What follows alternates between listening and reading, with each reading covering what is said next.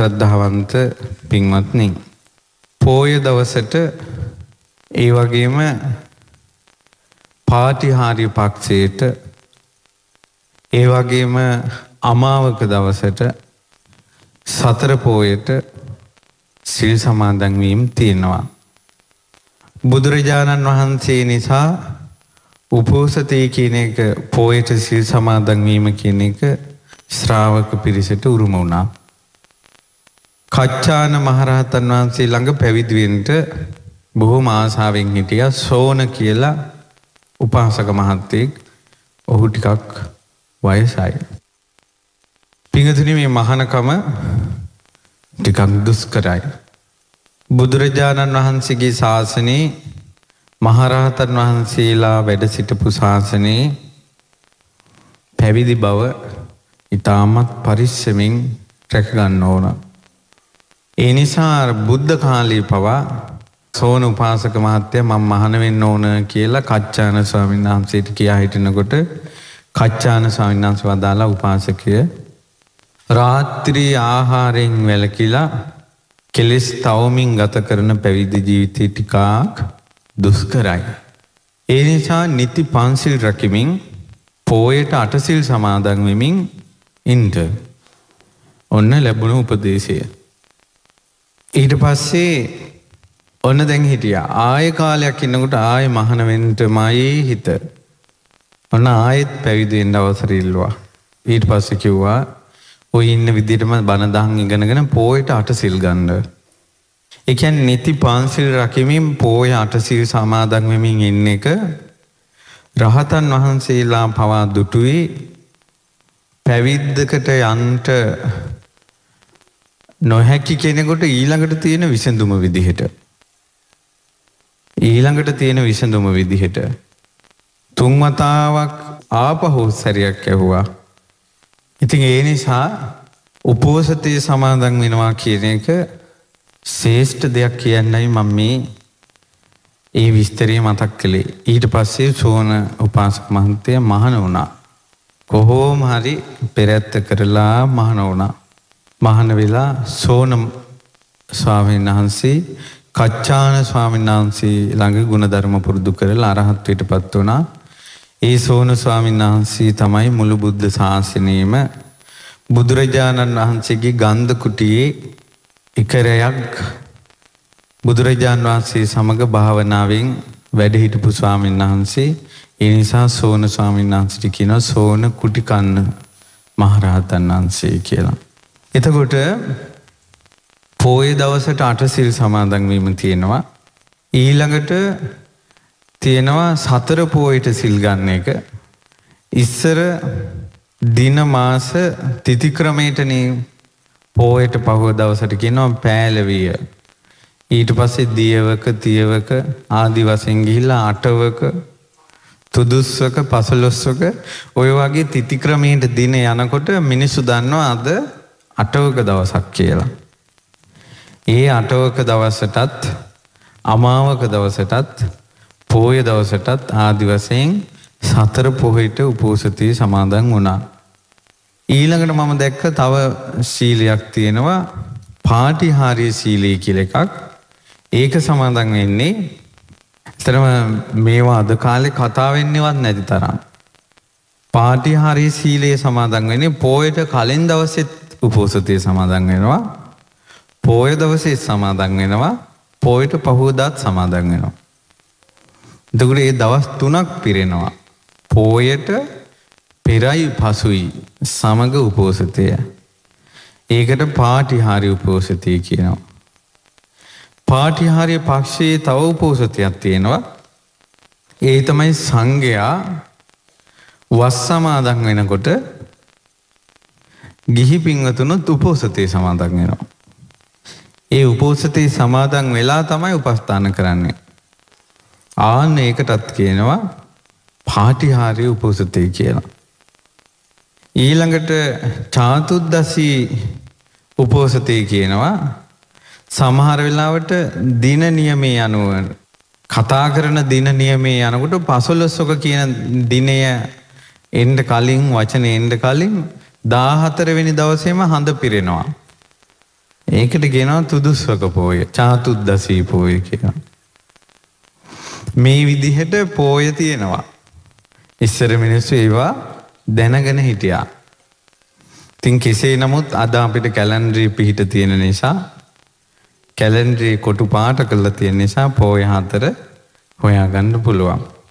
මේ ලංකාවේම සිංහල මිනිස්සු අතරම ඒ වගේම බුද්ධාගමේ කියන පිරිස අතරම ඉන්නවා කවදාවත් සිල් සමාදන් වෙලා නැති ගිහි පිරිස. සමහර ළමයිගෙන් සමහර අයගෙන් ඇහුවම එයාලා සිල් සමාදන් වෙලා තිනවා ඉස්කෝලේදී. එතකොට ඒකෙත් එක වැදගත් දෙයක් තියෙනවා. ඒ තමයි පාසල් මට්ටමින් උපෝසත සීලී සමාදන් වෙන්න වරුවක් හරි හදන එකේ තියෙන වැදගත්කම මොකද සමහර මිනිසුන්ට ජීවිතේම සිල්ගන් ගත්තා කියන මතකේ තියෙන ඉස්කෝලෙදින් විතරයි. ඒ මිනිසුන්ට ඒ මතකවත් ඉතුරු කිරීම පිණිස පාසල්වල උපෝසතය සමාදන්වීම උනන්දුවෙන් කරගෙන යා යුතු දෙයක්. උපෝසතයේ තමන්ට බොහෝ උපකාරි වෙනවා. සිල් සමාදන්වීම බොහෝ උපකාරි වෙනවා. මොකද තමන්ට භික්‍ෂූන් වහන්සේලා විදිහට මුළු ජීවිත කාලෙම ශාසනයට කැප කල්ලා කාලි ගෙවන්න බැරි නිසා ඒ රහතන් වහන්සේලා සිහි කරගෙන එක දවසක් නමුත් හරියට උපෝසතේ රැක්කොත් මහත්ඵලයි මහනිසංසයි. ඒ නිසා තමයි බුදුරජාණන් වහන්සේ දේශනා කළේ සාක්‍යයන්ට සාක්‍ය රජවරුණි දවසට කහවනු ලක්ෂයක් ලැබෙන කෙනෙක් දවසට කහවනු ලක්ෂයක් ලැබෙන කෙනෙක් අවුරුදු සීයක් ජීවත් වෙලා. ඒ අවුරුදු සිය පුරාම ඔහු වැටුපක් ලබනවාද. ඒ වැටුප එක දවසක් උපෝසත අට්ටංග සීලයේ සමාදන්වීමෙන් දාසෙන් පංගුවක් තරං කියලා. දවසට කහවනු ලක්ෂයක් නම් මාසෙට ලක්ෂ තියහා. ඒක වැඩුවෙන්න ඕන දොළහයින් එතකුට අවුරුද්ධකට එනවා ඒක වැඩුවෙන්න ඕන සීයෙන් ඒක අවුරුදු සීයකට එනවා. ඒ වැටුප එක දවසක් උපෝසත සීලයේ සමාදන්වීමෙන් දාසයෙන් පංගුවක් තරන් කියනවා. ඊළඟට මේ ඉරුගෙන් සඳුගෙන් ආලෝකමත් වෙන මේ ලෝකේ යම් තාක් රන් රිදී මුතු මැණික් වස්තුව තියෙනවද?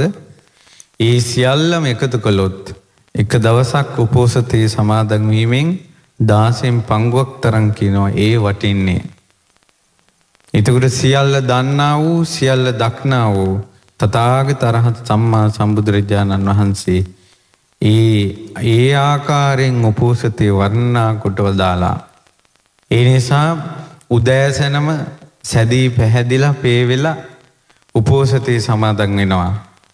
ඇවිල්ලා මං අද අට සීලේ සමාදන් වෙනවා කියන එක සිල්පදාට සමාදන් වෙනවා. පහුවදා එළි වෙනකල් ඒ සීලේ සිහි කරගෙන ඒ සිල්පද අටට හානියක් නොවෙන විදියට රැක ගන්න ඕන. ප්‍රාණඝාතෙන් වැළකීලා, හොරකමෙන් වැළකීලා, අබ්‍රහ්මචාරී බවින් වැළකීලා, බොරුවෙන් වැළකීලා, සුරාවෙන් වැළකීලා, විකාල භෝජනෙන් වැළකීලා 12න් පස්සේ ආහාර ගන්නෑ. මත්දහනින් පස්සේ ඊළඟට නැටුම් ගැයුම් වාදන විකාර දර්ශන වලින් වැළකීලා ඊළඟට සැරසෙන එකෙන් අපි කියන්නේ මේකප් කරනවා කියලා. සිල් සමාදන් වෙලා මේකප් කරන්නේ ඊට පස්සේ කනකර දාගෙන ඉන්නේ සමහර කනකර සාමාන්‍යයෙන් කෙනෙක්ගේ ශරීරයේ තියෙනවා අපි කාන්තාවකගේ කනකර තියෙනවා. සිල් සමාදන් වුණාට පස්සේ අමුතුවෙන් අනිත් අයට තමාව පේන්න කියලා කනකර දන්නේ නැහැ. තියෙන කනකර ගැන නෙවෙයි මේ කියන්න. සමහර උපාසිකාව පුරුදු වෙලා තියෙනවා පෝයි දවසට කනකර ගලවලා එන්න වරදක් නැහැ. සමහර අය හිතනවා කනකර දාගෙන ඉන්න එක සීලයට බාධාවක් කියලා. ඒක වරදක්. සිල් සමාදන් වුණාට පස්සේ සිල් රකින්නේ. එතකොට කනකර අමුතුවෙන් දාගත්තේ නෑ එයා. එයාගේ ශරීරයේ කනකර තිබුණා. අනිතක අද කාලේ මේ කරාමු දෙකක් චේන් එකක් සාමාන්‍ය සාමාන්‍යයෙන් දාගෙන හිටියා කියලා විශේෂ සැරසිල්ලක් ගණීට වැටෙන්නේ නැහැ ඒක. ඔන්න විසාකාගේ වගේ මේල් පළඳනාවත්දා ගන්නවනම් ආන්න තියෙනවා. සැරසීම කියන එක ස්ත්‍රියකගේ හොඳටම පෙරෙන එකත් තමයි මඟුල් ගෙවල්ල යෑම. මඟුල් ගෙදර යනකට බලන්ඩ තාන විගඩන්ටික ආන්නේ වගේ සැරසෙනවනම් ඒ සීලයට හානි වෙනවා. ඊළඟට වටිනා සුපෝක බොහෝගේ ආසන කියන්නේ මහා සැප සම්පත් විඳින අය පාවිච්චි කරන ඇඳපුටු මේස ඇඳපුටුව. තුට සාමානෙන් ගෙදරක පොඩි පුටුවක් ගත්තොත් ඔය ප්ලාස්ටික් පුටුවක් ගත්තොත් පොඩි ඇඳක් ගත්තොත් ඒවා වටිනා සුපෝක බොහෝගී ආසන කෙනය ගනයට වැටෙන්නේ. ඒකනේ උච්චාසයන මහාසයන කියලා කියන්නේ. නැතන් කෙලින්ම සයන කියන වචන විතරත් තිබ්බොත් නං ඔක්කොම ආසන. උච්චාසයන උසස් මහාසයන මහා වටිනා කියන වචන දෙක යෙදෙනවා. ඒ විදිහට සීලේ සීලේ විදිහට දැනගෙන ආරක්ෂා කරන්න ඕන. අලුතෙන් සිල් සමාදන් වෙන්න පැමිණෙන පිරිස් සිටින නිසා මං ඒ සිල්පදට ගැන ওই විදිහට වචනයක් කිව්වේ. උඳුවක් පුම් පොහොය දවස මේ පුම් පොහොය දවසේ තමයි උතුම් ජයශ්‍රී මහා බෝධීන් වහන්සේ මේ ලක්දිරණට වැඩම කළේ. සංගමිත්තා රහත් තෙරණිය තවත් භික්‍ෂුණීන් වහන්සේලා සමඟ මේ ලක්දිරණට වැඩම කළේ උඳු අපපුම් පොහෙ දවසේ. ඒ දවසක තමයි ලංකාවේ කාන්තාවන්ට ස්ත්‍රීන්ට පැවිද්ද පිණිස ආශිරවාදය ලැබිච්ච දවස. පිංහතුනී ඒ නිසා ඒ ගැන යම් කාරණාවක් මතක තියාගන්න. ඒ තමයි මේ බුද්ධ ශාසනයේ පිහිට ලැබෙනවා කියන එක දුර්ලභ දෙයක්. බුදුරජාණන් වහන්සේ නමක් පහළවීම අතිශයින් දුර්ලභයි. කල්පසිය ගානනකටත් බුදු කෙනෙක් පහළ වෙන්නේ. ලෝකානු කම්පාවෙන් බුදුරජාණන් වහන්සේ පහළ වෙලා පළවෙනි ධර්ම දේශනාව පවත්වන්ට ඕන කියලා භාග්‍යතුන් වහන්සේ පළවෙනි ධර්ම දේශනාව කරන්ට ඒ පිරිස සොයාගෙන යනවා. සොයාගෙන යනවා. එතකොට දැන් අපි ගත්තොත් එම විපස්සී බුදුරජාණන් වහන්සේ කණ්ඩ තිස්ස කෙල් රාජකුමාරවරු දෙන්නෙක් හිටියා. ඒ රජමාලිගාවම විපස්සී රාජකුමාරයගේ මාලිගාවම. ඒ අයට යාළුව අසුහාර දහක් සිටිනවා. විපස්සේ බුදුරජාණන් වහන්සේ රාජ උද්‍යානයට ගිහිල් වැඩම කරලා පණිවිඩයක් යවනවා. විපස්සී තතාගතයන් වහන්සේ වැඩල ඉන්නවා කණ්ඩ තිස්ස දෙදෙනාට උයනට එන්න කියලා.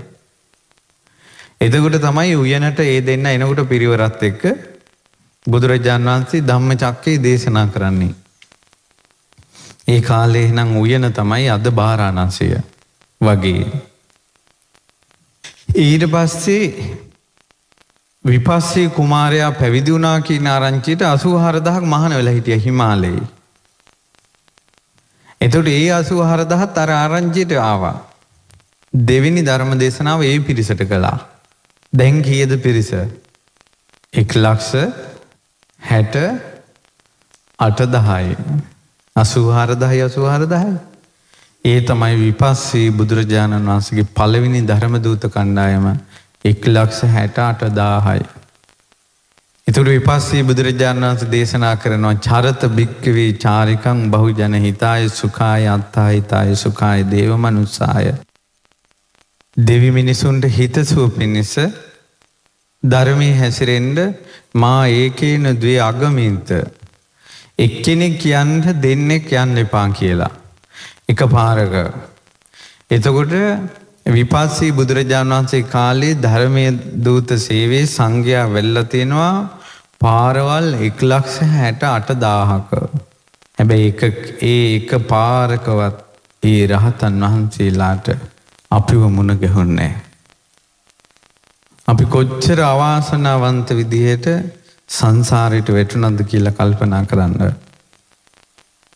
ඊට පස්සේ අපේ බුදුරජාණන් වහන්සේ සොයාගෙන ගියා පස්වග භික්‍ෂූන් වහන්සේලා. ඊට පස්සේ මම මේ කියන්න හැදුවේ පැවිදි කිරීම කියන එක උදෙසා බුදුරජාණන් වහන්සේ කවදාවත් ස්ත්‍රියක් සොයාගෙන ගිහිල්ලා තියෙනවද හොඳට කල්පනා කරන්න. දහම් දෙසීම උදෙසා වැඩල තියෙනවා. යසෝදරා උත්තමාවියගේ සිරිහං ගබඩාවට ධර්මය දේශනා කරන්නට වැඩම කළා. පැවිදි කිරීම උදෙසා ස්ත්‍රියක් ඉන්න දිසාවකට හොයාගෙන ගිහිල්ල තියෙනවද. එතකොට මතක තියාගන්න බුදුරජාණන් වහන්සේ මහා කරුණාවෙන් ලෝකෙට පහළ වී වදාළේ. එතකොට බුදුරජාණන් වහන්සේගේ ජීවිතේ පැවිද්ද උදෙසා ස්ත්‍රියක් සොයාගෙන යන්නේ කියලා යමක් ඇද්ද? එපමණකිමුත් තේරුම් ගන්න ස්ත්‍රී ජීවිතයේ තියෙන කර්මය. සම අයිතිවාසිකම් හෙව්වට අපිත් හම්බ කරනවා නිසා අපිට ඕන විදිහට ඇයි ජීවත් වෙන්න බෑ කියලා හිව්වට කටී සැරයට ධනයට බලපුරුවන්කාරකමට ගෙදර ස්වාමියා යටත් කරගෙන හිටියට ස්ත්‍රියට මේ ලෝකෙන් ලෝක ධර්මයෙන් ලැබුණ තැන ගැන හිතන්ඩ. එතකොට ඇයි ඒවතේර් හිතන්නේ ස්ත්‍රීත්වයට කලකිරීම පිණිස ස්ත්‍රී ජීවිතයට නොවැල්ම පිණිස. ඊළඟට ස්ත්‍රී දුර්ගුණ නිසා සසරට නොවැඩීම පිණිස. ඒව කියන්නේ. නැතන් පොතෙන් බණගෙන ගත් අයි ඉන්න ඉස්කෝලි පොතෙන්. තොට ඉස්කෝලි පොතේ ස්ත්‍රිය කියනකටම ගන්නේ භාරතීය සමාජයේ ස්ත්‍රිය ලැබුණ තැන. කියල මාත් මේටික කියනකොට හිතනවා කෙනෙකුට හිතෙන්න පුළුවන් එනිසා බුද්ධ ශාසනයත් ස්ත්‍රිය පහත් කළාද කියලා. කල්පනා කරන්න බුදුරජාණන් වහන්සේ සියලු ලෝකයාට අනුකම්පාවෙන් වැඩ සිටින උත්තමයන් වහන්සේ නමක්. එතකොට අදවාගේ දවසක සංගමිත්තා උත්තමාවිය ලක් දෙරනට වැඩම කරනකොට ලංකාවේ ජනී ජනයා පහළ වෙලා අවුරුදු දෙසිය ගානයි. විජය කුමාරයගෙන් ආරම්භ වන බද්ධ කච්චායනා කුමාරියගෙන් ආරම්භුන ලංකාවේ ස්ත්‍රී පරපුරට අවුරුදු දෙසීය ගානයි. මුළු භාරතයේ අවුරුදු දහස් ගානක් ස්ත්‍රිය දුක්වෙන්දා. භාරතයේ අවුරුදු දහස් ගානක් ස්ත්‍රිය දුක්වෙන්දා. ලංකාවේ ස්ත්‍රියට දුක්විදින්ට ලොකූ කාලයක් තිබෙනෑ. අවුරුදු දෙසීයක් ඇතුළතම සංගමිත්තා රහත් උත්තමාවිය වැඩම කළා. ඊට පස්සේ බුදුරජාණන් වහන්සේගේ ජීවිතය ඔබහලති නොද කවදාවත් භික්‍ෂුණයක් එහි භික්‍ෂූ භාවයෙන් පැවිදි කලාං කියලා. ඒවුනට භික්‍ෂූන් සිය දහස් ගානක් තතාගතයන් වහන්සේ එහි භික්‍ෂු භාවයෙන් පැවිදි කළා. ඒ කාරණයනුත් තේරුම් ගන්න පින් ඇති ස්ත්‍රියකට නමුත් ජීවිතය තියෙන කර්මය. එතකොට ඒ නිසා තමයි වැරදි කාමසෙවිනේ යෙදෙන පිරිමියා කයබිඳල මරණය මත්තේ එහෙම ස්ත්‍රීත්වයකට යන්නේ. එක විපාකයක් විදිහට. එතුර කෙනෙකුට සමාජය ගැන තේරුමක් නැතුව කෙනෙකුට හිතෙන්න පුළුවන් එහෙනම් ස්ත්‍රියක් පිරිමියෙක් ස්ත්‍රියක් ගුණාට මොකක් වෙයිද? ඊළඟට පිටරටවල් වල ඔබ දැන් සමාජය ගැන දන්න අය විදිහට දන්නවා රසායනික සහ නොයෙක් විද්‍යාත්මක සැත්කම් තියෙනවා පිරිමි අය කාන්තාව කරනවා. මේ මුළු ඇඟම ස්ත්‍රියක් විදිහට හදනවා. ඒකට ගොඩාක් අය ආසාවෙන් ඉදිරිපත් වෙනවා පිරිමිනි. ඒ පිරිමි ජීවිතයේ තියෙන වටිනාකමක් ස්ත්‍රී ජීවිතයේ තියෙන කර්මයක් ඔවුන් නොදන්නා නිසා. ඒ නිසා ඔබද ස්ත්‍රී ජීවිතයේ තියෙන කර්ම ශක්තිය ගැන හිතිය යුතුයි. ස්ත්‍රී ජීවිතයට නොෙලිය යුතුයි. ස්ත්‍රී ජීවිතය දුර්ගුණ දුරු කළ යුතුයි. කුමක්ද ස්ත්‍රී ජීවිතය තියෙන දුර්ගුණ ස්ත්‍රිය වහා කලබල වෙනවා. වහා කිපෙනවා. ස්ත්‍රිය පුංචි දේටත් අඩනවා වැලපෙනවා. එක අදහසක ඉන්ට බෑ. මායං වලින් යුක්ත වෙනවා. ඊළඟට නොයෙකු දුරාචාරවලට යොමු වෙනවා. හිත හයියෙන් තියා හිත ශක්තිමන්තු තියාගන්න බෑ. ඒ දුර්ගුණ දුරු කරන්න ඕන.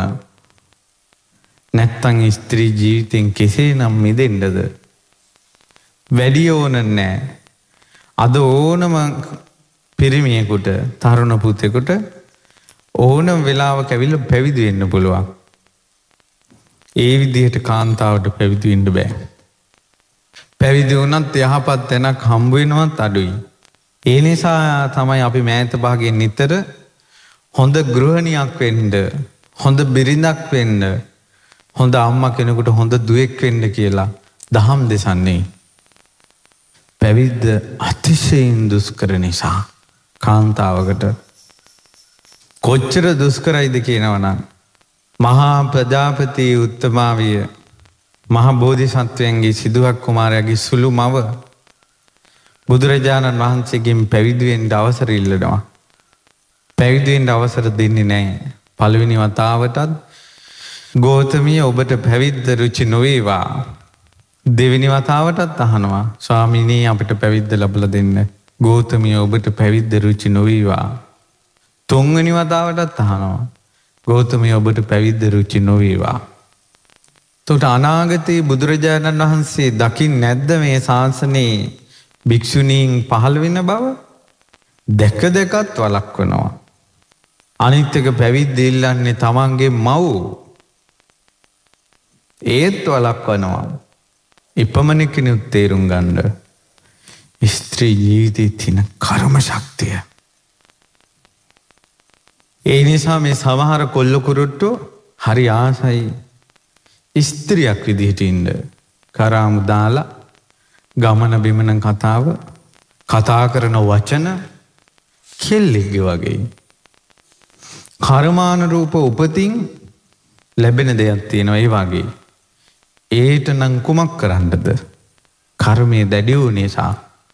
නමුත් හිතාමතා ස්ත්‍රී ජීවිතයක් ස්ත්‍රී හැසිරියෙන් වලට ඇල්ම කරන පිරිමිහු වෙද්ද ඔවුන් වහායින් අත්මිදිය යුතුයි. ස්ත්‍රී ජීවිතයක් ලැබෙනවනං යං කර්මයක් කිරීම නිසා පිරිමියේ. ඒ වැරදි කාමසේවනේ නං වූ පාපය දුරු කළ යුතුයි. ස්ත්‍රී ජීවිතය ඉච්චර කරම ශක්තියකින් බැට කන්න නිසා. ඊට පස්සේ දැන් ප්‍රජාපති උත්තමාවී හැඩූ කඳුලින් මේ මාලිගාවට වැඩම ගියා. භාග්‍යතුන් වහන්සේ වැඩ ඉන්නවා.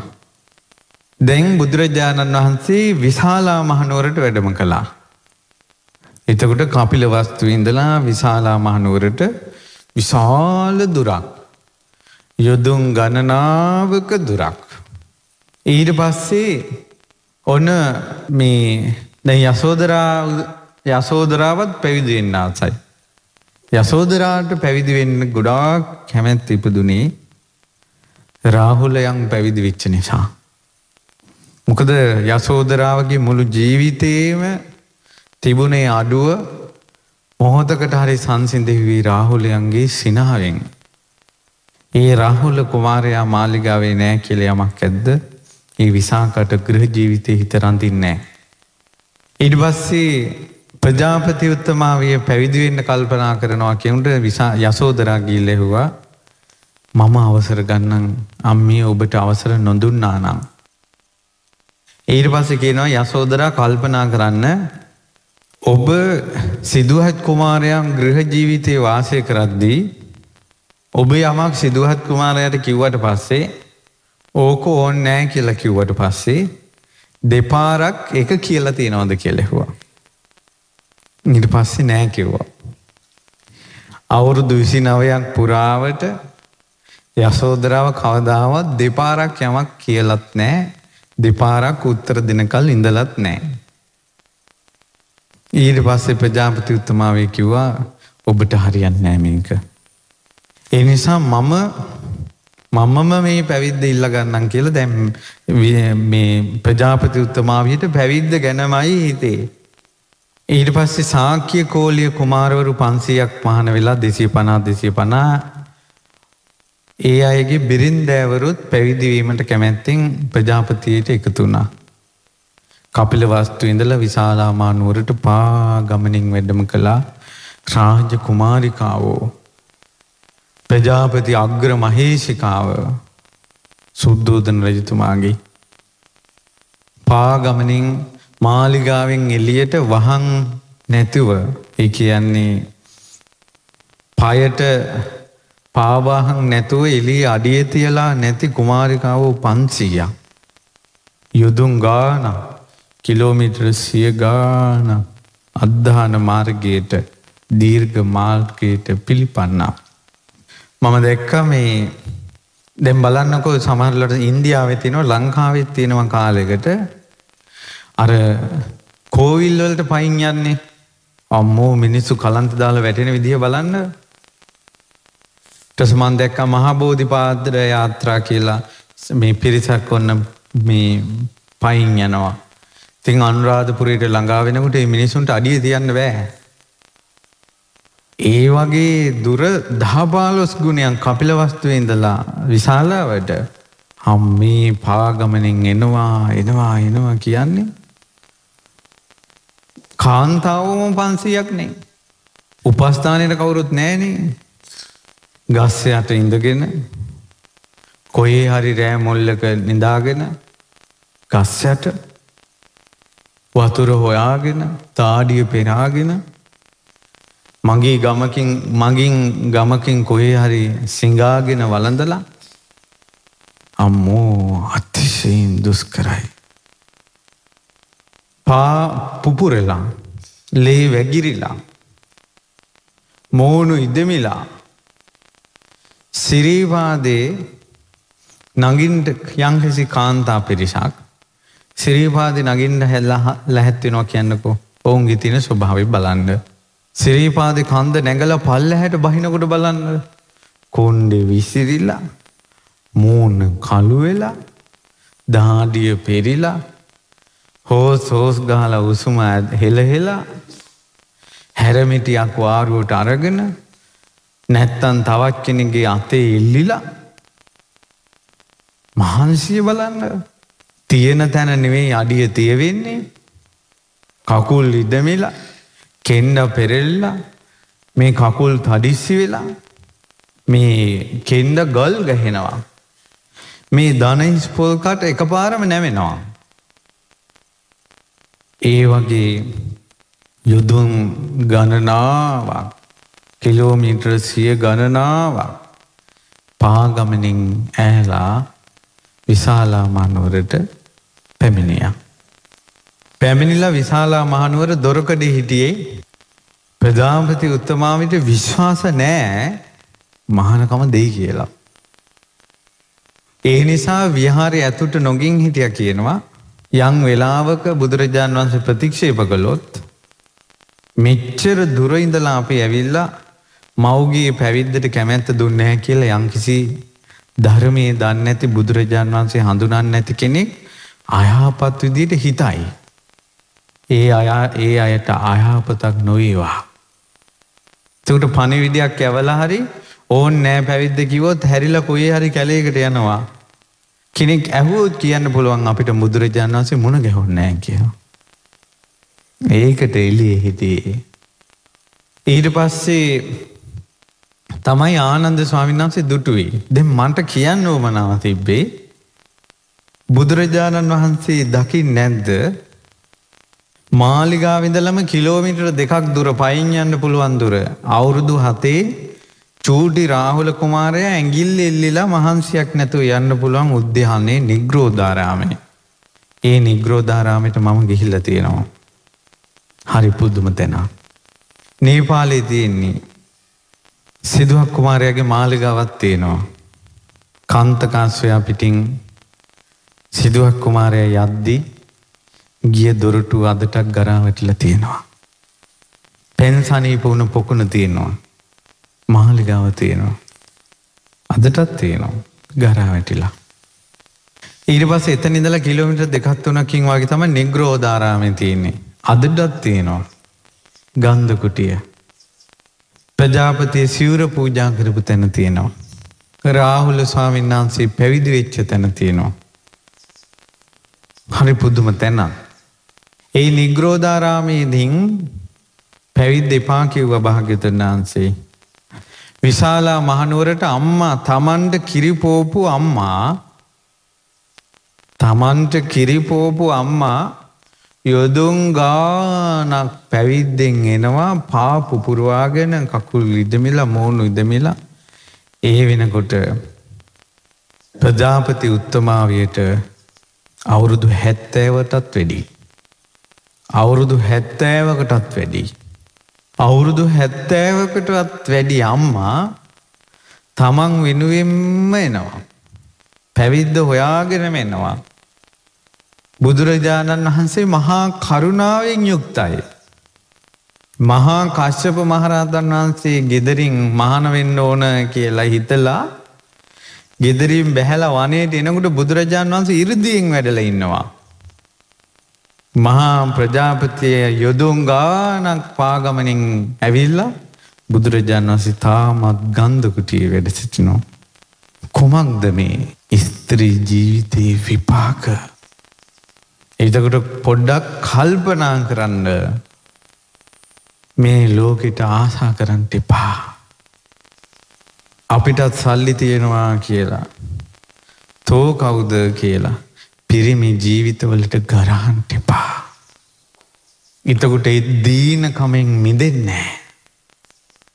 අපේ රටට සංගමිත්තා රහත් තෙරණින් වහන්සේ වැඩම කළ නිසා හොඳයි. නැත්තං ඉන්දියාවේ තිබ්බ බමුණෝ නිගන්ඩයෝ පරිබ්‍රාජකයෝ එවුන් කලින්ම බුද්ධ ශාසනී ලංකාවට ගේන්ට කලින් බමුණො නිගන්ටයෝ ලංකාවට ඇවිල්ලා. නිගන්ඩයන්ට වෙනම පැල පැත්තක් බමුණන්ට වෙනම පැත්තක් ඒ වගේ ලංකාවේ පණ්ඩුකාවේ රජතුමාගේ කාලේ වෙනම ගම්මාන තිබ්බා. එහෙනම් අර ඉන්දියාවේ ස්තිරියට තිබ්බ තාඩන පීඩන ටික ඔක්කෝම ඒ විදිහටම ලංකාවේ පැතිරෙනවා සංගමිත්තා රහත් තෙරණෙන් වහන්සේ වැඩියේ නැත්තං. එහෙනම් අද කෑකොස්සං ගහන ඔය සමහර ස්ත්‍රීන්ගේ කටවල් කොහේතියීද දන්නේ. ඒ නිසා තේරුම් ගන්න මේක. එච්චර අමාරුවෙන් තමයි පැවිද්දන් ගත්තේ. පැවිද්ද ඉල්ලගෙන එනකොට පිරිමි කෙනෙක් බුදුරජාණන් වහන්සේ වදාලා මෙයාලගේ කිස්රෙවුල් බාලා සිවුරුදීලා උක්කුටුවෙන් ඉඳගෙන ගුරුවරයෙක් ළඟ බුද්ධන් සරණං ගච්ඡාමි කියල සරණ පිහිටවන්ඩ දම්මන් සරණං ගච්ඡාමි සංගන් සරණං ගච්ඡාමි කියලා සරණ පිහිටවන්ඩ ඉතකුට මහනකම ලැබෙනවා කිව්වා. දැන් ගිහිල්ලා ආනන්ද ස්වාමීන් වහන්සේ ඉල්ලන වනේ මහනකම ස්වාමීණී ප්‍රජාපති එය පන්සීයක් සාක්‍ය කුමාරවරිය සමඟ ඇවිත් ඉන්නවා. පැවිද්ද අපේක්ෂාවේ. ආනන්ද ස්ත්‍රීන්ගේ පැවිද්ද ඔබට රුචි නොවේවා. තවත් ප්‍රදික්ෂේප කරනවා. බුදුරජාණන් වහන්සේ. ඊට පස්සේ ආනන්ද ස්වාමීන් වහන්සේ හරි කරුණාවන්තයි. අනිත්තක තමයි මහා ප්‍රජාපතිය සාක්‍ය වන්සේට අම්මාහ කෙනෙක්. මුළු සාක්‍ය වන්සේටම අම්මා කෙනින් ප්‍රජාපතිය. ඈ කියපු වචනයක් ඉස්ට නොකර ඉන්න බෑ. එච්චර ආදරී සාක්‍ය වන්සේ අය මහා ප්‍රජාපතියට. ඊට පස්සේ තමයි තවත් ක්‍රමයකින් ඇහුවේ ආනන්ද ස්වාමීන් වහන්සේ ස්ත්‍රියක් පැවිද්දි වුණොත් එහෙම ඒ සෝතාපන් සකදාගාමි අනාගාමි අරහත් කියන මාර්ග පල්ල බඳ බැයිද පුළුවන් ආනන්ද. අනේ භාග්‍යතුන් වහන්සේගේ මව් කළුරිය කලාට පස්සේ කිරිදීල හදපු ප්‍රජාපතිය පැවිද්දක් සොයාගෙනවිල්ලා. එහෙනං ආනන්ද මේ අෂ්ටගරු ධර්ම අට ප්‍රජාපතිය පිළිගත්තොත් එපමණ කිව්ම ඇයට පැවිද්ද ලැබෙනවා කියලා කිව්වා. මේක ලෝකෙ ස්වභාවය තේරුම් ගන්න විහාරයේ දොරටුවෙන් එහාදීම්ම මහනකම දෙනවා. ඇතුළත දෙන්නේ මොකන්ද හේතුව ස්ත්‍රී භවී කර්ම ස්ත්‍රී භවී විපාක ගෑනු කංවලට ආස කරන්ට එපා. කේලං කියනේවා කුටුකුටු ගානේවා ඕපදූප අහල පහල හැම තැනම තියෙන කුණු කන්දල් අතගාගෙනනේවා. ඒවා ස්ත්‍රී බව අත්තරින්ට ඒවා. සාධාරණය හොයාගෙන හොයාගෙන හොයාගෙන යන එක. අසාධාරණය ඉදිරියේ කිපෙන එක ස්ත්‍රී බව. ඇය යසෝදරා තමන්ගේ ස්වාමියා තමාව දාලා ගියා අභි නිස්ක්‍රමණය කළා. කොච්චර ආදරීද කියනවනම් යසෝදරාව සිදුවක් කුමාරයන්ට සසරී බැඳීම එක්තරා ජීවිතයක සඳකිඳුරෙක් සඳකිඳුරියක් වෙලා ගංගාවක් දෙපැත්තේ ඔවුන් ප්‍රේමින් වෙලී සින්දු කියමින් නටමින් ජීවිත කාලෙම සතුටින් ඉන්නවා. දිනක් එක තාපසයෙක් දැක්ක මේ සඳකිඳුරයි සඳකිඳුරේ රෑ එල්ලි වෙනකල් අඬනවා. පුදුමයි දැන්. දවල් කාලේ නටනවා සින්දුකි ගියා. රෑ එල්ලි වෙනකල් අඬනවා. දෙවෙනි දවසෙත් දැක්කා තුන්වෙනි දවසෙත් දැක්කා. ආය අඬ අඬ ඉන්න රාත්‍රියේ ඒ තාපසයන් වහන්සේ සඳකිඳුරයි සඳකිඳුරී ළඟට ගියා. ගිහිල්ලා ඇයි අඬන්නේ? කිව්ව අපි දෙන්නට අපි දෙන්න ගොඩාක් ආදරේ. අපි දෙන්න දවසක් නට නටා ඉද්දී මම මේ පැත්තේ සින්දු කිය නැටුවා. සඳ කෙඳුරා ගඟෙන් එහා පැත්තේ සින්දු කිය නැටුවා. අනපේක්ෂිත ජර දහරාවක් ගලාගෙන ඇවිල්ලා ගඟේ වතුර වැඩි වුණා. මට එහා පැත්තට යන්න බෑ. එහාට එහා පැත්තෙන් මෙහෙට එන්න බෑ. අපි දෙන්න ඔය මේ පෙනිපෙනී අනේ ඔය මේ පෙනිපෙනී අපි දෙන්න දුරුණානේ කියලා රෑ ඉල්ලි වෙනකල් අපි ඇඩු රිද්දන්ඩ ඒ වනාහි ස්ත්‍රී බවයි. ඒක එහි මොහෝතේම හිත දරාගැනීමට ඇරගෙන නොරිද්දා ඉන්න හිතක් එන්නෑ. රිද්දන්ඩ හිතනවා. ඒ වනාහි ස්ත්‍රී බවයි.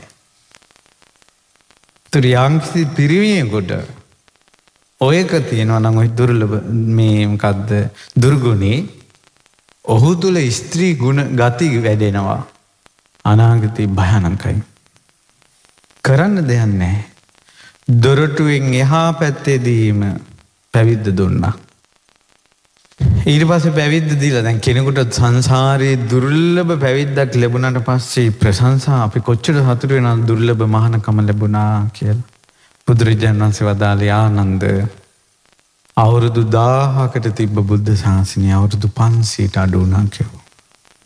ස්ත්‍රීන් නිසා. සාරා සංකේ කල්ප ලක්ෂ ගණනක් පෙරුම් පුරලා ලෝතුරා සම්මා සම්බුදුරජාණන් වහන්සේ නමක් උපදවන තථාගත බුද්ධ ශාසනය භාගිට භාගයක් අඩු වුණා. ආනන්ද ස්ත්‍රීන් විතරක් ඉන්න ගෙදරක ගොඩාක් කාන්තාව ඉන්නේ. කලයක් අත් අස්සේ පහනක් පත්තු කරලා එකන අදාළ තැනට විතර එලිය වැටෙන තුරු කලේ කටින්. කලේ පහනෙන් හොරකං කරන හොරු. ඒ ගෙදෙට්ට ඇවිල්ල ගෙදර සොරා කනවා ගෑනුන්ට මොනොවත් කරගන්න වෙන්න. පිරිමින් විතරක් ඉන්න ගෙදරක එහෙම කරන්න බැහැකිවා. ඒ වගේ බුදු සසුනි ආයු සඩුනා මම කිව්වේ භික්ෂූන් වහන්සේලාට පැවිද්ද ලැබුණා බුද්ධහන් සරණං ගච්ඡාමි කියනකොට. ස්ත්‍රීන්ට පැවිද්ද ලැබුණේ අෂ්ටගරු ධර්මාටකින්. ඒ කියන්නේ ස්ත්‍රීන්ගේ පැවිද්ද තියෙන්නේ ගුණෙත් එක්ක. සරණට අමතරව ගුණෙත් එක්ක. ගුණයෙන් ඈ මහන වෙන්න ඕන අද වුණත් ඒ පැවිද්ද තියෙන්නේ ගුණෙත් එක්ක ඒ පළවෙනි ගරු ධර්මය තමයි මම මේ අද දවසේ මේ කරුණු ටික කියන්නේ සංගමිත්තා රහත් තෙරණියට යම්කිසි උපහාරයක් පිණිස.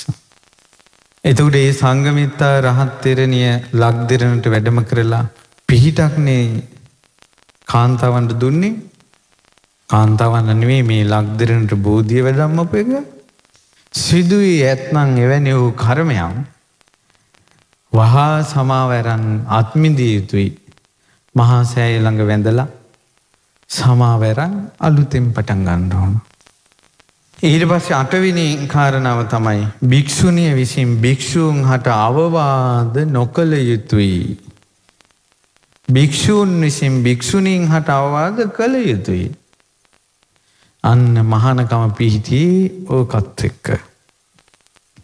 කවදාවත් භික්‍ෂූන්ට භික්‍ෂුණීන් අවවාද කරන්න බෑ ඔබවන්ස මෙහෙමින්ට මෙහෙමින්ට මෙහෙමින්ට කියලා. පැවිදි වෙච්ච භික්‍ෂුණියකටවත් එවැනි වරප්‍රසාදයක් නැත්තං. භික්‍ෂූන් වහන්සේලාට ඔබහන්සේලා මෙහෙමින්ට මෙහෙමින්ට මෙහෙමින්ට කියලා අනපනත්ගේන්ඩ උපාසිකාවෝ කවරහුද ගොඩාක් අයට මේ පව්වලින් අත්මිදෙන්ට පුළුවන් තමන් ඉන්න තැන තමන්ට තේරුණොත්. ඒ නිසා මං අද සංගමිතා උත්තමාවියගේ හෝ ප්‍රජාපති උත්තමාවියගේ හෝ ගුණ ගැන දේශනාවක් කරන්නම් කෙළහිතලාවේ. නමුත් කියවුණේ ඔය ටික. ඒ කියන්නේ උන්වහන්සේලාගේ ආශිර්වාදය ඇත්තේ උන්වහන්සේලා ගැන කියනවටත් වැඩිය මේ ඉන්න උපාසිකාවන්ඩ මේ බුදු සසුනේ ස්වභාවේ තේරුම් කල්ල දීලා තමන්ගින් පව් කෙරෙන එක වලක්කවන්ට කියලා. ඊට පස්සේ ප්‍රජාපති උත්තමාවිය පැවිදි වුණා. එතුමිය ළඟ අනිත් අය පැවිදි කළා. පැවිදි කලාට පස්සේ ඈලාට උපදෙස් අටයි. ඒ තමයි අෂ්ටගරු ධර්ම. වෙන වෙනම සිල්පද පැනවිලි නෑ. ප්‍රධාපතියට භාග්‍යතුන් වහන්සේ වදාලා භික්‍ෂූන් වහන්සේලා රකින්න සිල්පද තියෙනවා භික්‍ෂුණීන්ටත් ඒව රකින්න පුළුවන් ඒවා ඒක රකින්න. සමහර භික්‍ෂූන් වහන්සේල රකින සිල්පද තියෙන භික්‍ෂුණීන්ට එක අදාල නෑ. ඒවා නොරැකඉන්ද. හැබැයි භික්‍ෂුණීන්ට සිල්පද තුන්සිය තිස් ගානක් තියෙන මගේ මතක හැටියට භික්‍ෂූන්ට තියෙනෙ දෙසී විසි හතයි. ස්වාමීන් වහන්සේලාට පාරාජ්‍යකා හතරයි භික්‍ෂුණීන්ට පාරාජිකා අටයි. ඔය වගේ සිල්පදවල වෙනස්කන්තියන සිල්පද වැඩි එහෙමත් තිබිලා ඒ පරම පාරිශුද්ධ ඒ උපසම්පදා භික්‍ෂුණී සංඝයා බොහෝ කාලයක් නොකඩවා රැකුන්නේ. නොකඩවා රැකුන්නේ. නමුත් ඒරේ බුදුරජාණන් වහන්සේ පිරිනවම් පාලා අවුරුදු දෙසිය ගානක් ගිය තැන දෙසිය තිස් ගානන්නේ සංගමිත්තා රහත්තරණය ලක් දෙරනට මේ බුදු සසුන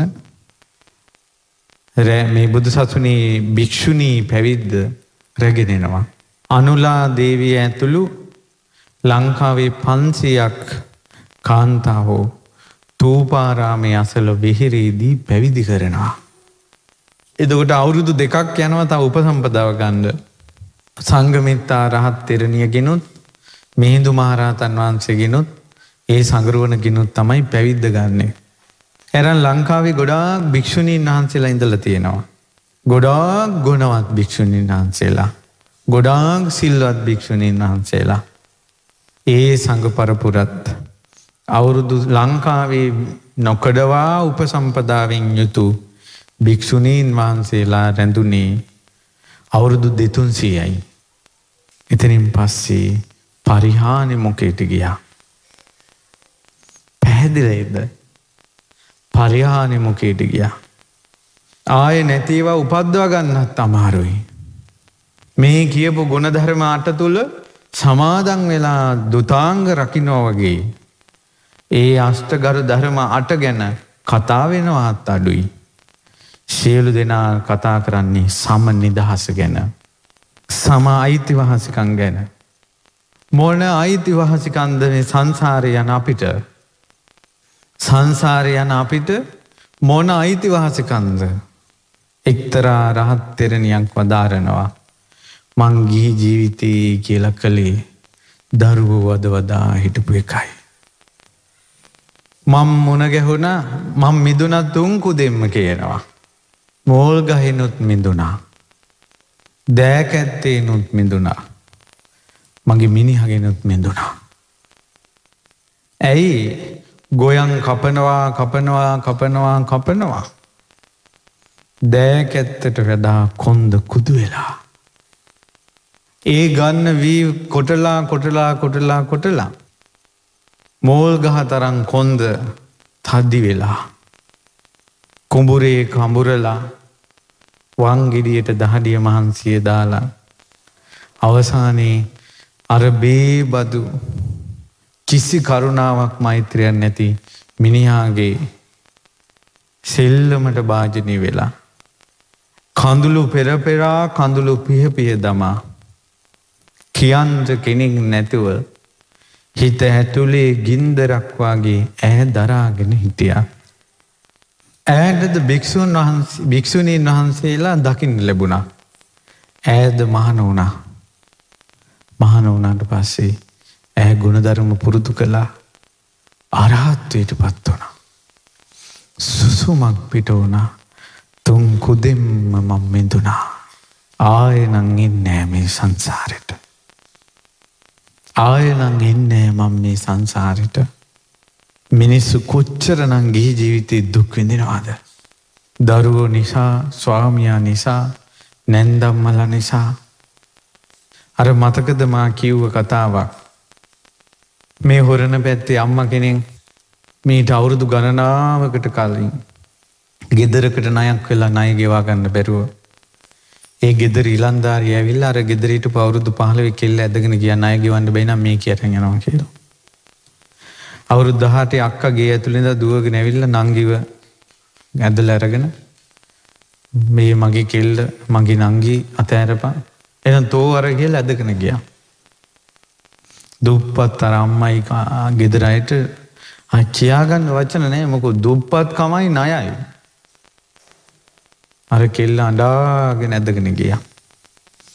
ගිය ගමන් ගෙදර මැටල් ගෙනල්ල තිබ මැටල් බකට්ටොල්ට අරගෙන සාලි දාලා දැම් මේක දනගාපය කිව්ව අවුරුද්ධ හටේ කෙල්ලට. ළඟට බලු පැටියකාව දැම් මේක මේකට වැඳ පංකිව්වා. ඔක්කෝටම වැඳ පංකිව්වා. කියන කියන එක කළා. ඊට පස්සේ ගෑනි කරගත්තා. උදේ නැගිටලා නිදාගන්න කාම්බරයම ඇතුළෙම කක්ක කලා ජරා කලා දැන් අතින් ඇරන්දා පංකයෝ ගිහිල ටොයිලට රිදා පංකෝ. ඇඳේ ඉඳලම මුත්‍රා කරන දැන් රෙදිකෑලිකින් තෝම පිහල හෝදගන වර කියනු. ඒ හැම වෙලාම ඇයට හිතුනා කිව්වා මං අම්මලාව ණයබරින් තියන්නේ. අම්මලාගේ ණය මං මෙහෙම ගෙවනවා කිය. ඊට පස්සේ බත්තිව්වට පස්සේ බට්ටි කොක්කෝ මනලල්ලා කාම්බරි සාලි මැදට දාලා බල්ලට කතා කන ඉංජු ඉංජු කියලා. බල්ල දන්නවන බල්ලු කනකුට හැම පැත්තෙම කනවනේ. එකොළ බල්ල පලන දැන් තෝ කාපන් කිය අර කෙල්ල එහෙම කාලාදයෙන් අනි දුක් ගැන කවර කතාද? ඇ මේ ලෝකයේ සැප කියල දෙයක් දන්නවාද හැම වෙලාම එකක් හිතටාව කියනවා මං අම්මලාගේ නය ගෙවනවා ඊට පස්සේ දැන් ඇයට වය සවුරුතු හැටයි. නැන්දම්ම කිව්වා තෝ පෞගයෝගය නැතුම් පල මෙහිම් පල කියලා. ගිය නෑ මං නය ගෙවනවා කිය. දුක්කීවේ නෑ කාටවා දැන් ඇයට අවුරුදු හැටයි. දිනක් පිළිකන්නේ ඉඳගෙන අර ඇත පාරදිහ බලාගෙන ගෙවුණ සංසාරයම කල්පනා කර කර ඉන්නකොට අල්ලපු ගෙතර ලක්විරු ගුවන් විදිරදාල බණක් යනවා. ගෙවාපු සංසාරයේ ඇඩපු කඳුළු සතරමහා සාගරයේ ජලයට වැඩී කියලා. මේ සංසාරයේ අප්‍රියං හා එක්වෙද්දී ප්‍රියන්ගින් වෙන්වෙද්දී මේ ඇස්වලින් රූරා වැටුන කඳුළු එකතු කොළොත් සතරමහා සාගරයේ ජලයට වැඩී කියලා ඇහුණා. ඒ නිසා මේ දුක්විදින සංසාරිට ආය ආයමත් එන්ට එපා කියල ඇහුණා. ඇහැ විඳවනවනේ ඇයට ඇත්තටම මේ දුක්විදින සංසාරයට ආය ආයමත් එන්ට හොන්නෑ. මේ දුක්විඳ විඳ සංසාරය යන ගමන නතර කරන්නට කාරණා හතරක් බලපානවා. බාහිරින් දෙකක් ලැබෙන්ට ඕන. ඒ තමයි සත්පුරුස ඇසුර. ශ්‍රී සද්ධර්මය ඇහෙන්ට ඕන. ඒනන් තතාගත ශ්‍රී සද්ධර්මය දේශනා කරන කෙනා සත්පුරුෂයන්. කල්්‍යාන මිත්‍රයන් වහන්සේ. ඒ සත්පුරුෂ ඇසුරත් ශ්‍රී සද්ධහමයක් නිතරම ලබන්න ඕන. සෝවාන් වෙච්ච කෙනෙක් සෝහන් වෙනවා නං ඔහුටද බාහිර කරුණු දෙකයි. සත්පුරුෂ ඇසුරත් ශ්‍රී සද්ධර්මශ්‍රවනයක්. සකදාගාමි නොෞච්ච කෙනාට සකදාගාමෙන්ට ඔන්නන් ඒත් කාරණා දෙකයි. සත්පුරුෂ ඇසුරත් ශ්‍රී සද්ධර්මත්‍රවනයක්. අනාගාමි නොවන කෙනාට අනාගාමෙන්ට ඕනිනම් ඒත් කරණා දෙකයි සත්පුරු සැසුරයි සේ සද්ධහම ශ්‍රවණයයි. අරහත්වයට පත්වෙන් නැති කෙනාට අරහත්වයට පත්වෙන්න ඕයිනම් ඒත් කාරණා දෙකයි සත්පුරු සැසුරත් සේ සද්ධර්මශ්‍රවණයත් බාහිරින් තමා දුළ තියෙන්ට ඕන යෝනිසෝ මනසිකාරය කියන දේ හරියට කෙලෙස් ගෙවෙන විදියට කල්පනා කරගන්න පුළුවන් වෙන්න ඕන. කෙලෙස් හටගන්න නැති විදිහට කල්පනා කරන්න පුළුවන් වෙන්න ඕන. යෝනිසෝ මනසිකාරය. දම්මානු තම්ම ප්‍රතිපදාව කියන්නේ හිමි හිමීයට නමුත් පුරුදු කරන්නට ඕන. කම්මාරෝ රජතස්සේව තෝක තෝකං කනේ කනේ. රංවල මල පොඩ්ඩ පොඩ්ඩ අයින් කරනවා වගේ. කෙලෙස් හිමීට හිමීට අයින් කරගන්නට ඕනා. පරිපූර්ණ නොවන සීලයේ පරිපූර්ණ කරගන්ට ඕන. කරලා නැති උපාදී සම්පූර්ණ කරගන්ට මහන්සි වෙනවා මිනිස්සු. පළවෙනි පාර විභාග පේල්ලුනාට පස්සේ ආය ආයමත් විභාග පාස් කරගන්ට පරිපූර්ණ කරගන්ට මහන්සි වෙනවා මිනිස්සු. ගේ පරිපූර්ණ නැතිකුට කොහොමද ගේ මේ වැඩටිකිවරක් කල්ලා මේ වැඩටිකිවරයක් කරගන්නේ පූර්ණ කරගන්නේ කියලා මහන්සේනවා මිනිස්සු. ශරීරයේ අංගවල අඩුපාඩු තියෙනකුට ඒවා පූර්ණය කරගන්න මහන්සේනවා මිනිස්සු. ගමේ ගොඩේ අඩුපාඩු තියනුට පාරතොට ලිඳ කඩේ කඩමන්ඩිය ප්‍රජාශාලාව ඇස්වීන් ශාලාව පන්සල හදලත් පරිපූර්ණ කරගන්න හදනවා මිනිස්සු. ඒ පරිපූර්ණ කර ගැනීම අතර සීලයේ පරිපූර්ණ කර ගැනීම ශේෂ්ඨයි. එක පාරක් විභාගෙන් පෙල්ලුනට පස්සේ දෙතුන් වතාවාරි මහන්සේනේ ක්ලාස් ගිහිල්ල ගිහිල්ල ගිහිල්ලා. සිල් රකින්නකොට අමාරු වෙනකොට වැටෙනකොට. වැටි වැටී හරි වතාවන්වේ දෙවතාවන්වේ සිය දහස් වතාවක් හරි වැටි වැටි සීලේම හදාගණ්ඩ බලනවා. තුනුරුවන් සරණයම පිහිටනවා. දහමම හිතනවා. ගෙවුන අතීතය අතීතන් නිරුද්ධං විපරිනැතන් අනෙච්චං සංකතන් කියල හිතනවා. අතීතයේ ගෙවිල ඉවරයි. ඔබට සිද්ධ වෙච්ච අසාධාරණය කාටද කියන්නේ කාටද ලෝකයේ සාධාරණ ඉෂ්ට වනේ. හැම්ම කෙනාට මසාධාරණකං වෙලා. දුක හිතනකොට කඳුළු වැටෙනකොට මේ දුක කියන්නේ කාටද. කඳුළු නොවැටිච්ච කෙනෙක් හොයන්නේ කොහොමද දුක් ඉවර විච්ච කෙනෙක් කවුද. ඒ නිසා සත්පුරුස ඇසුරම ලබන්ට ශ්‍රී සද්ධර්මයම ශ්‍රවණය කරන්න යෝනිශෝ මනසිකාරයම දියුණු කරගන්ට දම්මානු දම් පචිපදා යෙදෙන්ට මෙහෙමයි කටයුතු කරන්නේ කියලා මං ඔය කිව්වේ අර උපාසකම්මට අර ගෙදරිඳලා අහන්ඩ ලැබුණ බනා උන්දගේ හිත ගොඩාක් වෙනස් වුණා. උන්න උන්දට හිතුන මේ මං මෙච්ච තව කරුවෙන් කියන්නේ අර මිනිහතාම ජීවතුන් අතර සිටිනවා. කරමී ගෙවී ඉවර වෙන තාක් මේ ජීවිතය එහෙම නැතිවෙන්නේ. ඇ ඒ ගෙදර මිනිස්සුන්ගෙන් ඇහුව කොහෙද ඔය බණ ඔය බණ කියන හාමුදුරුරු කොහෙදන්නේ ආන ඇයි ඉතින් මේ හොරණම තියෙනවා නිවාසපුවක් කියලා ඈ සැමියා නැති වෙලාවක උදේම සොයාගෙන ආවා. කාටවත් නොකියපු තමන්ගේ ජීවිත කතාව ඔය විදිහට කිව්වා. කඳුළු පියදා ගත්තා. අම්මා වෙනුවෙන් අය ගෙව්ප එක අද පරිපූර්ණ වුණා. මට මේ දහමෙන් දැන් සැනසිල් ලැබෙනවා කියලා. ජීවිතයට පලවෙනි සන්තෝසය දහමෙන්ම ලැබවා. ඒ නිසා අදටත් ධර්මය මැරිල නෑ. ධර්මය ජීවමානයි. සංගමිත්තා රහත් තෙරණෙන් වහන්සේ. මේ ලක් දෙරණ සිසාරා වැඩම කළා. ඒ සංගමිත්තා රහත් තෙරණියට නයකාරයෙක් වෙන්ඩිපා. ඈ මේ ලක් දෙරණට වැඩම කළේ නොබලා උදෙසාමයි. ඒ මහා ප්‍රජාපති උත්තමාවයට අපි ගරු කරන්න ඕන මගේ බුදුරජාණන් වහන්සේ වදාලා පින්වත් මහනෙන. බුදුරජාණන් වහන්සිට කවුරුවරි ආදරේ නං සෙනෙහවන්තනම් බුදුරජාණන් වහන්සට කවුරුවරි කැමතින ඒ සියලු දෙනා ප්‍රජාපතියට සත්කාර කරත්වා. ඒ ප්‍රජාපතිය තමයි සිදුවක් කුමාරයා හදා වඩාගත්තේ. ඒ නිසා තමයි අදටත් ස්වාමින්නාන්සේ නමකට කවුරගේ හරි හිත පැහැදුනොත් ඒ ස්වාමීන් වහන්සේ ගැන ගෞරවයක් ඇති වුණොත් එක පාරම අම්මලාගේ හිතට එනවා. අනේ මේ ස්වාමීන් වහන්සේගේ අම්මා තාත්තා නිදුක් වේවා.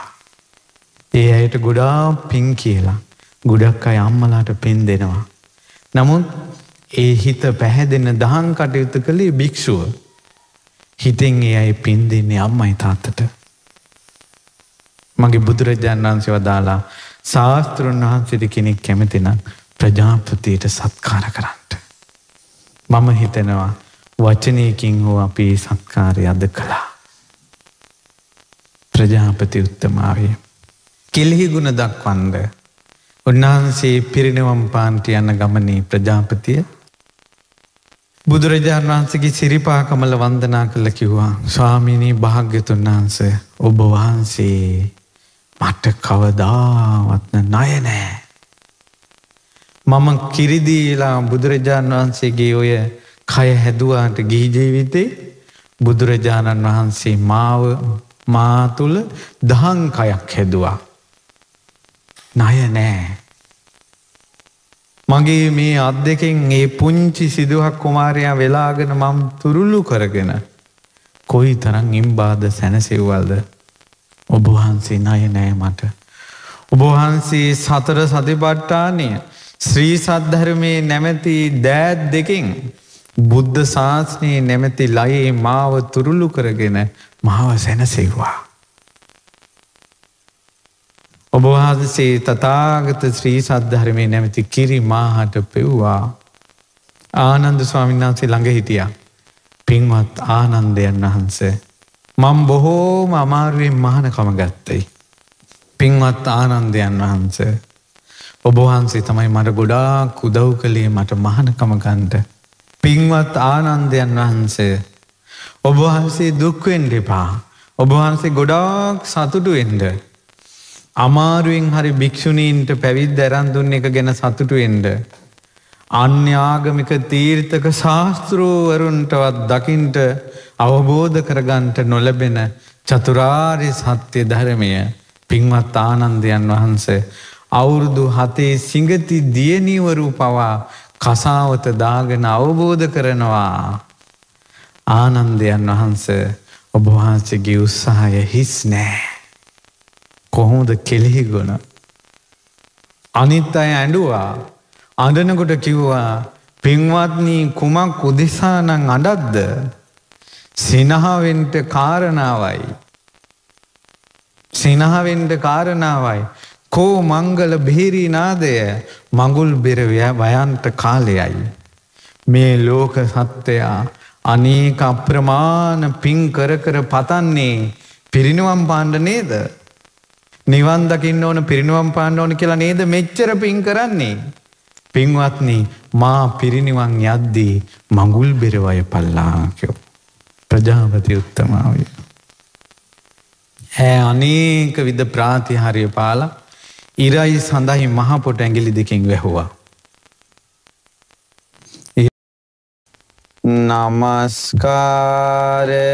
නමස්කාරවේවා බුදුරුවනට සැමදා බුදුහිමි සරණයමි නමස්කාරවේවා දම්රුවනට සැමදා සදහම් සරණයමි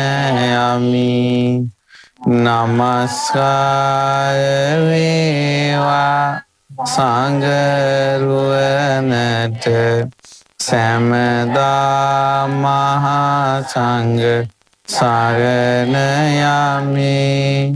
නමස්කාරවේවා තුනුරුවනට සැමදාතිසාරණ සරණයමි සාදු සාදු සාදු. අපගේ පරම පූජනීය ගුරු දේවෝත්තම පින්වත් ලොකු ස්වාමීන් වහන්සේට নমස්කාර වේවා සා ගරුතර මහා සංඝරත්නයන් අවසරයි. සිල් මෑණිවරුනි ඒත් ඇගේ දේහය දෙවරුන්ගේ කරමතින් වඩම්මන විදිහට ඇහැ උත්තම භාවයට පත්වනා ඒ නිසා තථාගත ශ්‍රී බුදුරජාණන් වහන්සේ අනුකම්පාවෙන්මයි ලෝකෙට පහළ වී වදාළේ දෙව් මිනිසුන් හට ස්ත්‍රී පුරුෂ කාටත්. නමුත් එක එක්කෙනාගේ කර්ම ශක්ති වෙනස්. එක එක්කෙනා විපාක විඳින්නේ විදිය වෙනස්. හැම කෙනාටම එකම විදිහට හැම දෙයක්ම ගණ්ඩ බෑ. ඒ නිසා මේවා තේරුම් ගන්ඩ. බුදු සසුනට පහදෙන්ට. ලාමක ස්ත්‍රී ගතවලින් බැහැරවෙන්ඩ උතුම් ගුණ පුරුදු කරන්නට. පිරිමි බව පිරිමි පිංහතුන් පුරුෂයින් පුරුෂ බව ශේෂ්ඨයි කියලා දැම් බනට ඇහුවා. ඒ ශේෂ්ඨකම රැකගන්ට. නීචවෙන්ට පා පහත්වෙන්ට පා ස්ත්‍රී ගතිගුණවලට ආස කරන්න එපා. මෙයන් කෙල්ලෙක් වගේ කියන වචනයට කැමති වෙන්නවත් එපා පිරිමියෙක් වගේ ජීවත්තෙන්ට. උත්තම පුරුෂයන් අවබෝධ කරපු ධර්මයක්. මේ බුද්ධ ශාසනය තියෙන්නේ. එනිසා උතුම් ගුණ ධර්ම පුරුදු කරගෙන අපිට ගෞතම බුදු සසුනේ පිහිට ලබන්ට වාසනාව ලැබේවා. අද මේ කළ දහං කතාව සංගමිත්තා රහත් තෙරණියට උපහාර පූජාවක් වේවා. අද මේ කළ දහං කතාව මහා ප්‍රජාපති උත්තමාවේ නං ඕ බුද්ධ මාතාවට උපහාර පූජාවක් වී සත්කාරයක් වී කෙලෙහි ගුණ පූජාවක් වී පිදේවා. සා අපටත් දුක්ඛිත සංසාරයෙන් නිදහස් වෙන්න වාසනාව ලැබේවා.